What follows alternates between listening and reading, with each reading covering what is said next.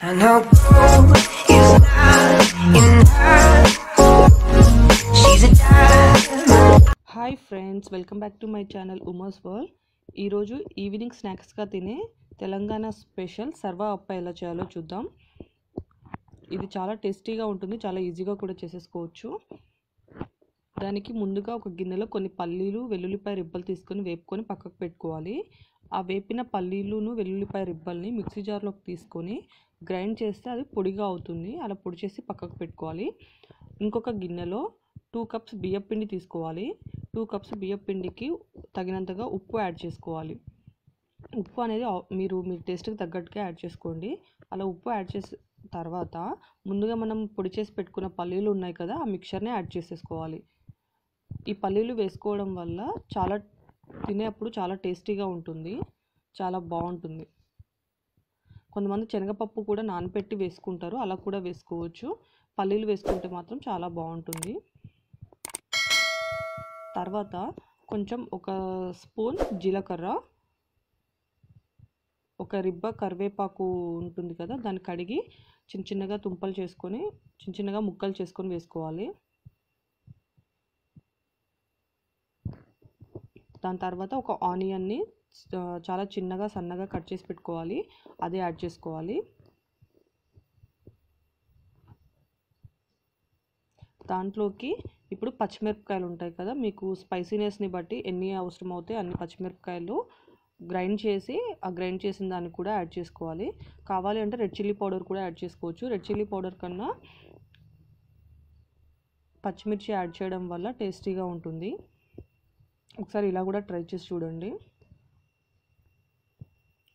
So ఇప్పుడు ఈ మిక్చర్ని అంతా బాగా కలపాలి. పిండిలో బాగా కలిసిన తర్వాత దాంట్లో కొద్ది కొద్దిగా వాటర్ యాడ్ చేసుకుంటూ దాన్ని మొత్తం మంచిగా కలిపేసుకోవాలి. ఒకేసారి ఎక్కువ వాటర్ యాడ్ చేయొద్దు. వాటర్ ఎక్కువైపోతే చే ఏం చేయలేం కదా. కొద్ది కొద్దిగా యాడ్ చేసుకుంటూ దాన్ని మొత్తం ఇప్పుడు మీరు వీడియోలో చూస్తున్నారు కదా అలా మొత్తం పిండిని కలిపేసేసుకొని పక్కకు పెట్టేసుకోవాలి. దాన్ని కొద్దిసేపు పక్కకు పెట్టి అది అయిపోయిన తర్వాత ఇంకొక మంద మందం గిన్నెలో వెడల్పుగా ఉండాలి గిన్నె. అలా అలాంటి గిన్నెలో ఆయిల్ వేసి దాన్ని మొత్తం ఆయిల్ని స్ప్రెడ్ చేయాలి గిన్నెకి. ఆయిల్ స్ప్రెడ్ చేయడం వల్ల అది అడుగులో అంటకుండా ఉంటుంది. సో ఇప్పుడు ఒక చిన్న పిండిని తీసుకొని పిండి ముద్దను తీసుకొని దాన్ని గిన్నెలో అలా వేళ్ళతోటి మొత్తం ఆ గిన్నె మొత్తం స్ప్రెడ్ చేయాలి. పల్చగా ఉండాలి. మందంగా ఉంటే అది సరిగా కుక్ అవ్వదు. సో పల్చగా దాన్ని మొత్తం గిన్నెలో స్ప్రెడ్ చేసేసేయాలి. అలా ప్రెస్ చేస్తూ ఉంటే ఈజీగా అయిపోతుంది.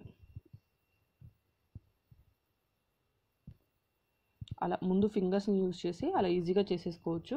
అలా మొత్తం స్ప్రెడ్ చేసిన తర్వాత చూసారు కదా అలా మొత్తం స్ప్రెడ్ చేసేసాలి మధ్య మధ్యలో ఎక్కడ మందంగా ఉండకూడదు. మందంగా ఉంటే అక్కడ పిండి సరిగా అది మొత్తం కుక్ అవ్వదు క్రిస్పీగా రాదు మెత్తగా వచ్చేస్తుంది. అలా మొత్తం అయిపోయిన తర్వాత అక్కడక్కడ చిన్నగా హోల్స్ చేసి వేల్ వేల్తో ఇలా పెడితే హోల్ వచ్చేస్తుంది కదా ఆ హోల్లో కొంచెం ఆయిల్ యాడ్ చేసుకోవాలి. ఆయిల్ యాడ్ చేసుకున్న తర్వాత దాన్ని స్టవ్ మీద పెట్టి మూత పెట్టేసి కొద్దిసేపు కుక్ చేయాలి.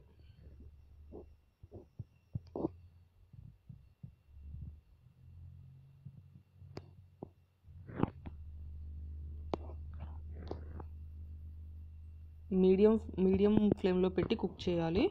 హై ఫ్లేమ్లో పెడితే కింద మాడిపోతుంది. అలా కొద్ది ఒక పది నిమిషాల తర్వాత చూస్తే చూసారు కదా ఎంత బాగా వచ్చిందో. అలా బ్రౌన్ కలర్లో వచ్చే వరకు కుక్ చేయాలి. సో అంతే. వేడివేడిగా సర్వ అప్పర్ రెడీ. దాన్ని వేడివేడిగా ఉన్నప్పుడు సర్వ్ చేసేసుకుంటే సరిపోతుంది. చాలా టేస్టీగా ఉంటుంది. మీరు కూడా తప్పకుండా ట్రై చేయండి. Thanks for watching this video. I'll be back with next video as soon as possible. Thank you. Bye bye.